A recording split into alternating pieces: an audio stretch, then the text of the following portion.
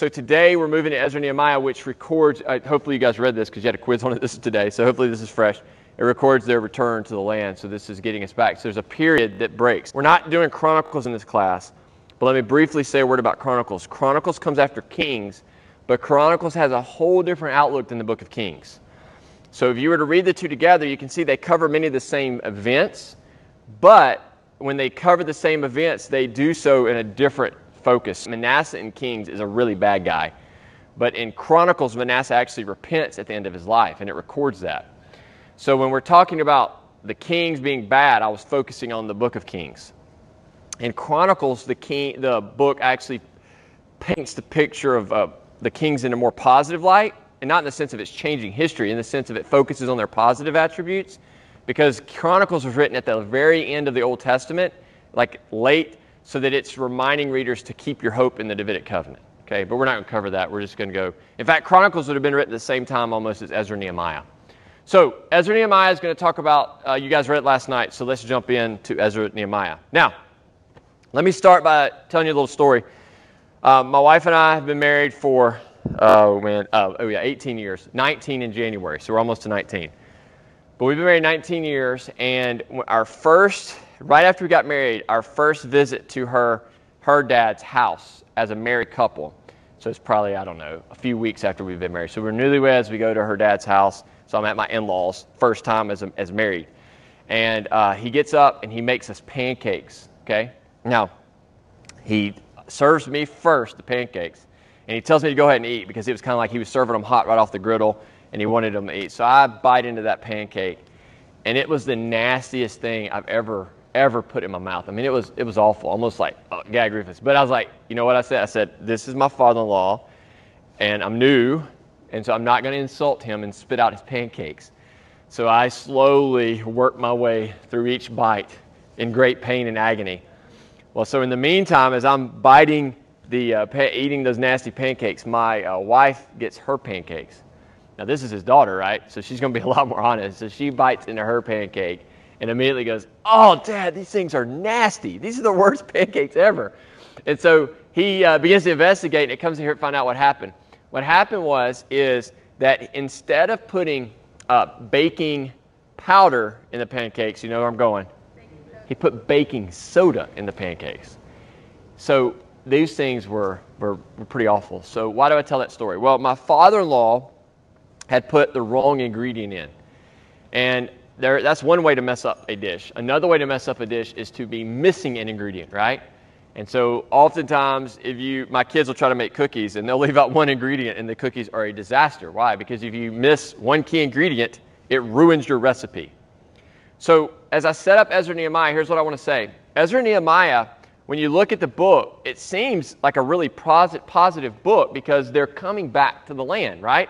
Remember, God's place. So he's bringing them back to their land. So it seems like a really important book, I mean, a really positive book. But I want us to keep in mind what we know so far as far as, like, if we think about God's restoration of Israel and his people, what are the ingredients that we already know about? guys help me. What are the ingredients, so to speak, of God's restoration of his people that you've learned so far in the biblical story? So, temple. So, what about temple? Restored?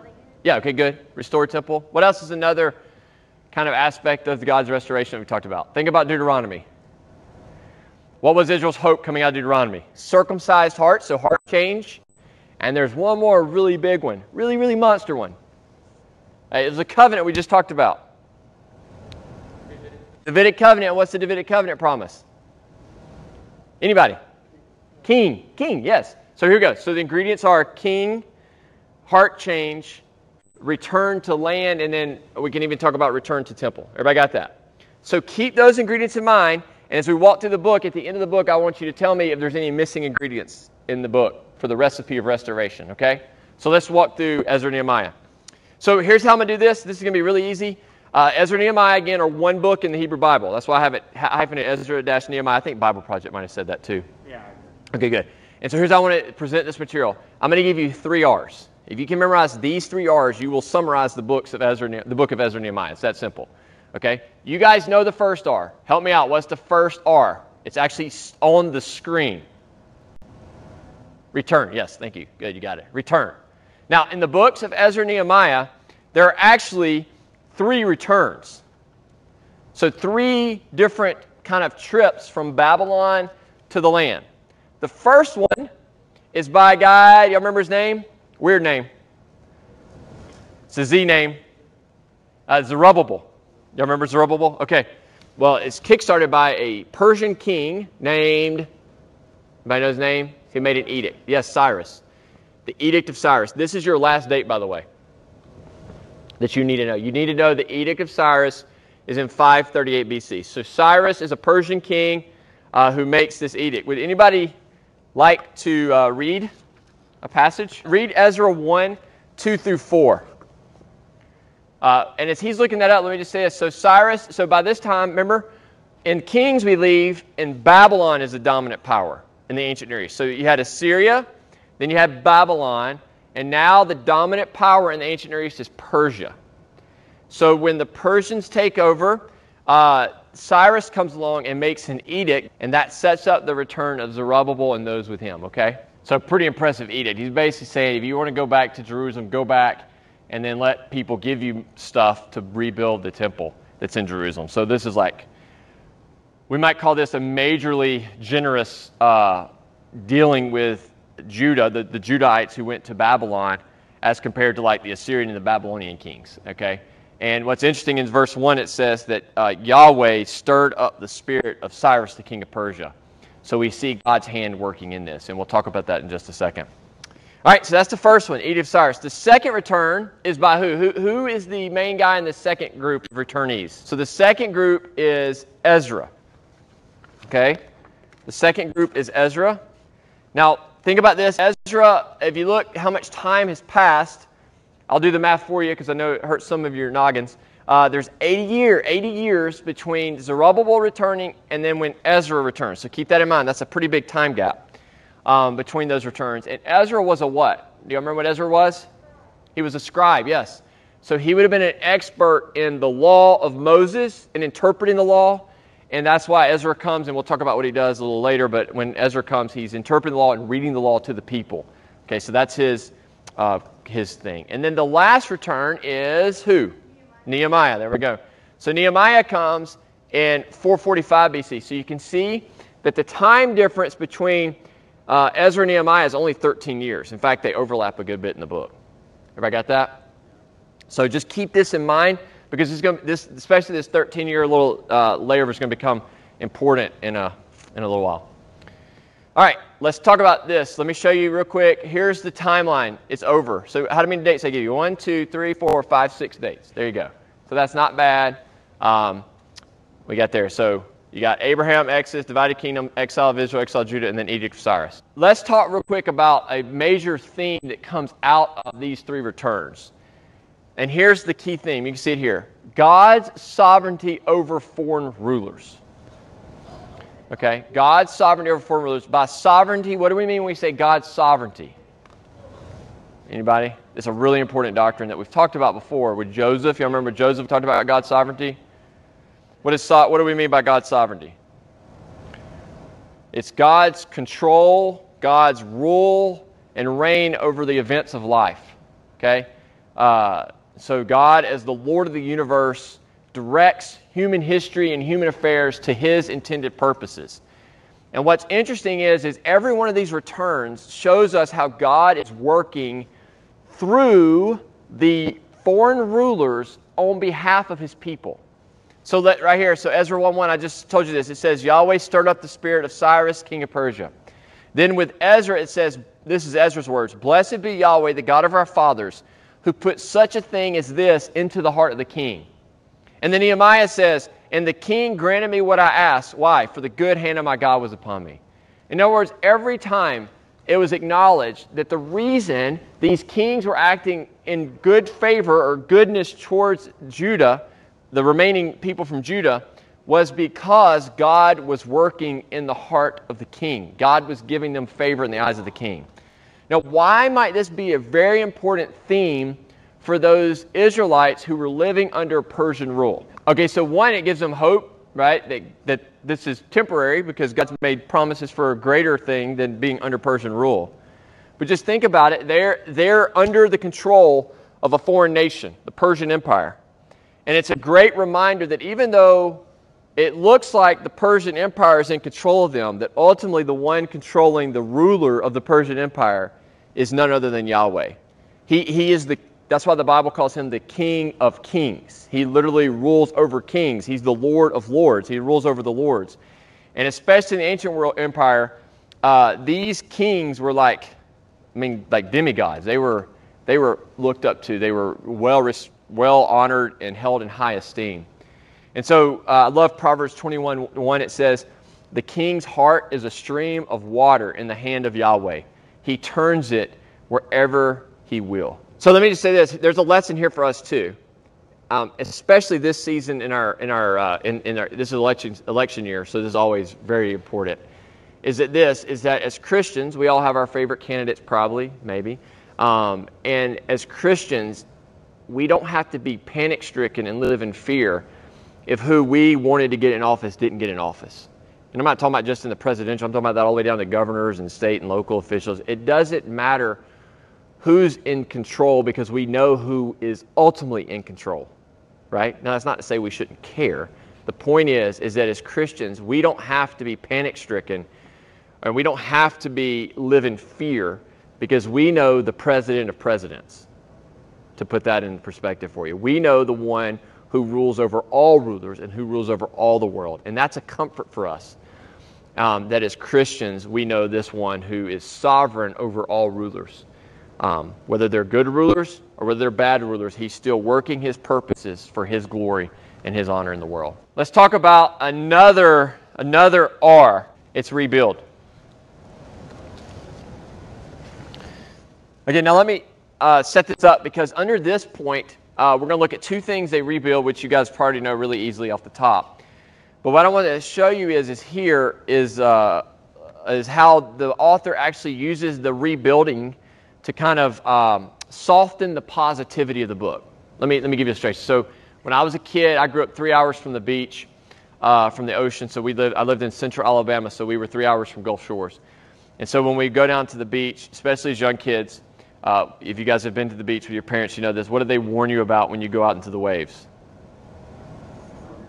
Yes, the undertow. I'm in the Midwest. I can know. Okay. Yes, if you go to the beach, they warn you about the undertow.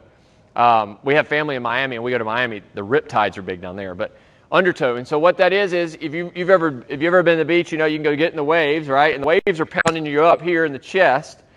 But when the waves pass, there's always something under you pulling your feet out. And when there's a strong undertow, especially as a kid, you can actually get sucked out into the ocean and drown because the undertow, so you can't see it, right?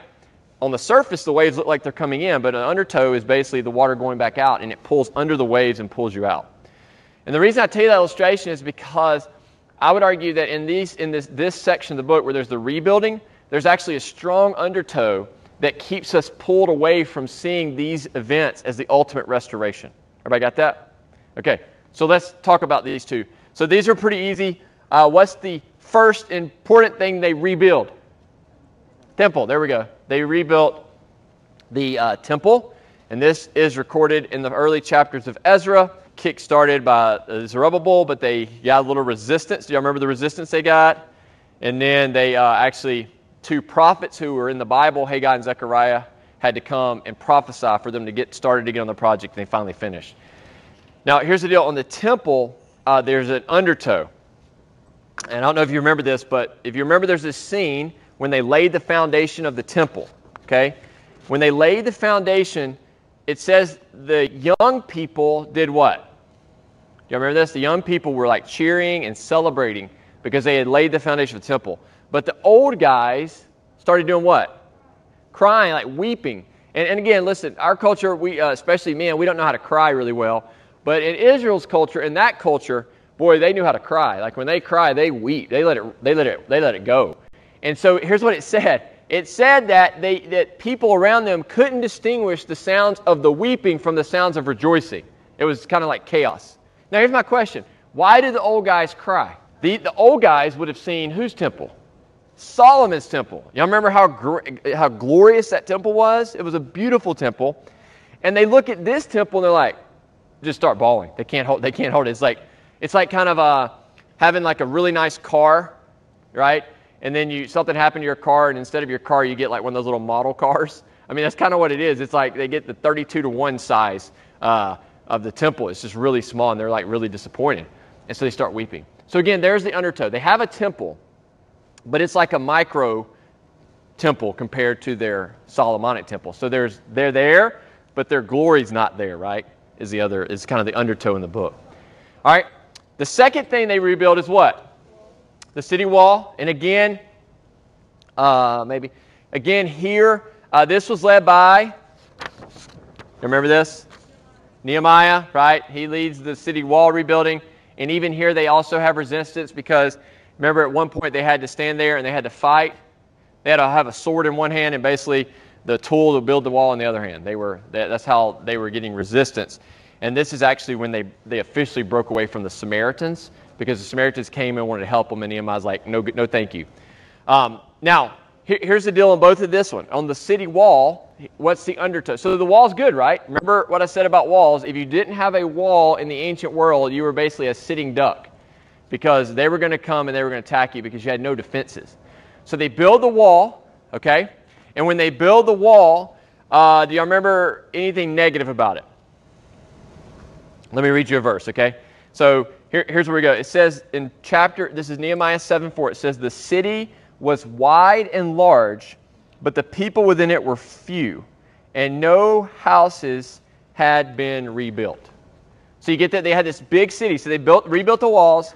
They have this big city, but they don't even have enough people uh, to fill the city or the houses in the city. So it's kind of like we got our city back, but we're kind of few in number. So again, is it positive? Yes, it's positive. They rebuilt the wall.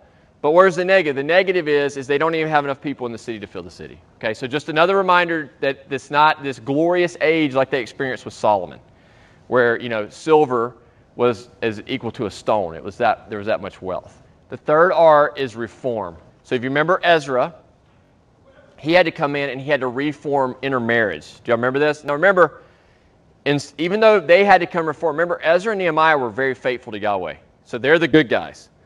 So when Ezra gets there, if you remember, what, what, is, what, what does he see? What is the intermarriage thing here?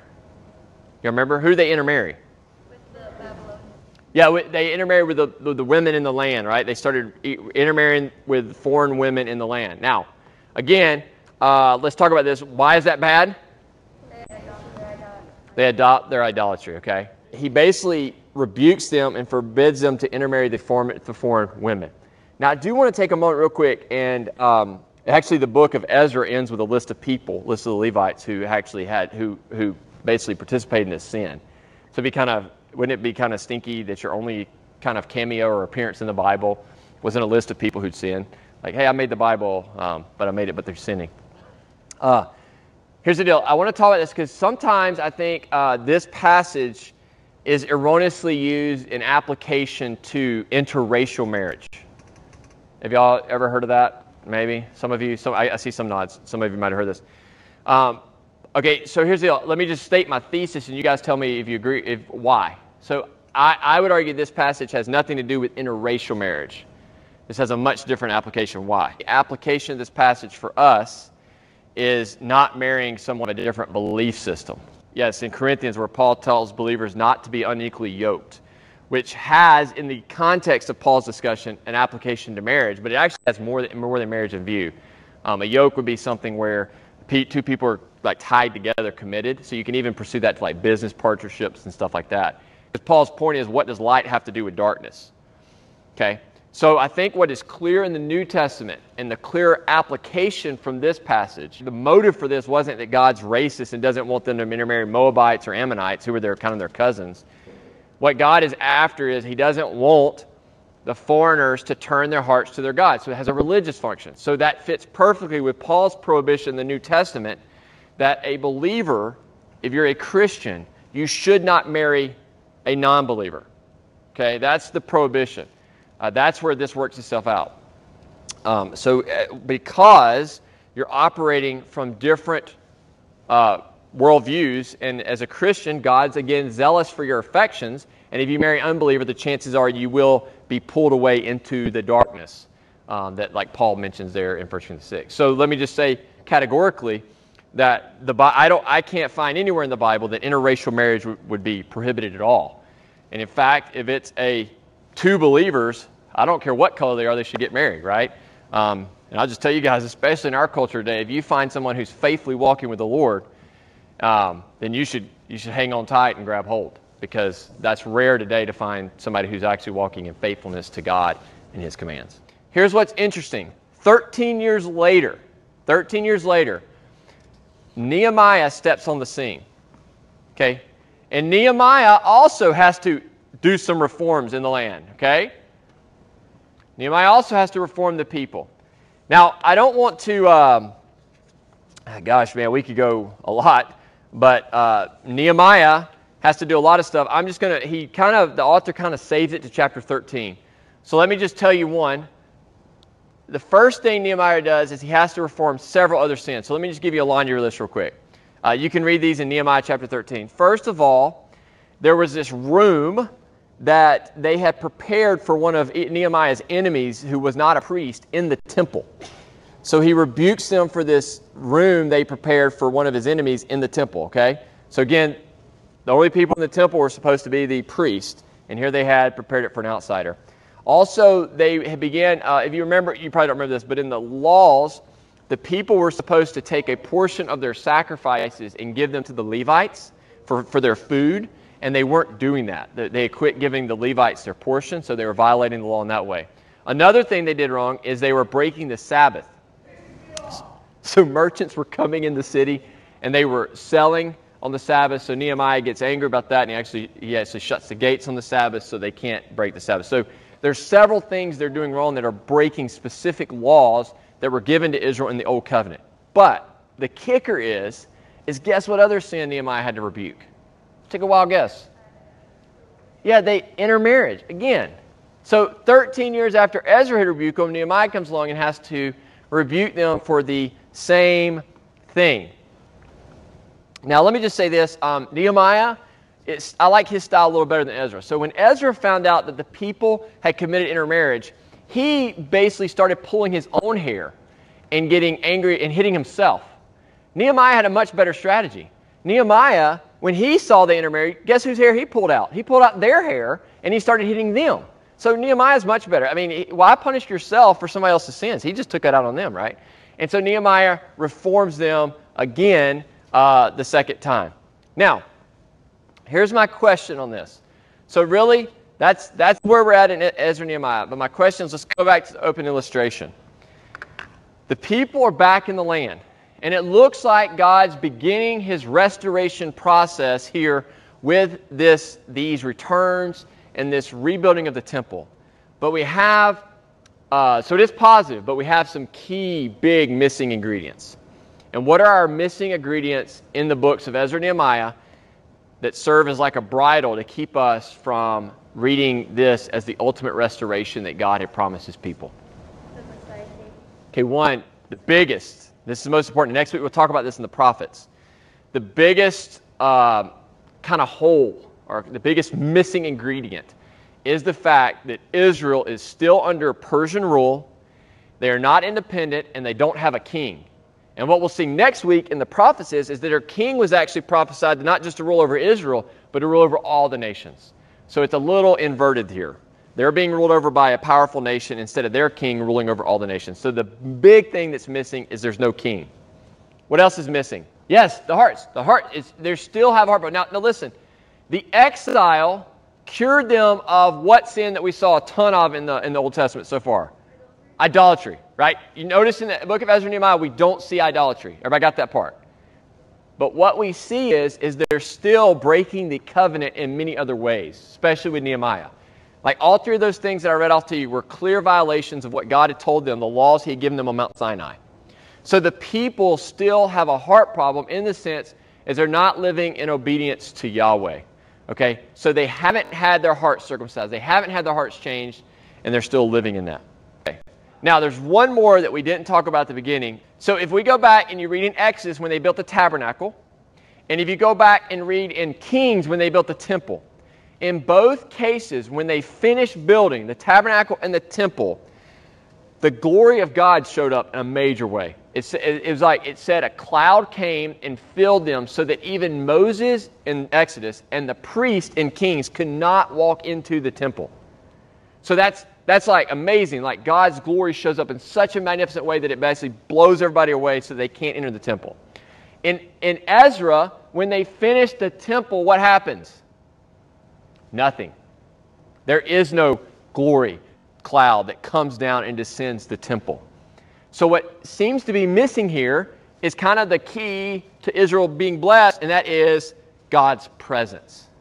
God's glory doesn't show up. The text doesn't make a big deal about that, but we should make a big deal because it's a glaring contrast to the other temple types. So we're still waiting for God's glory, still waiting for God's king, and we're still waiting for heart change. And in just about a week, we're going to see those all come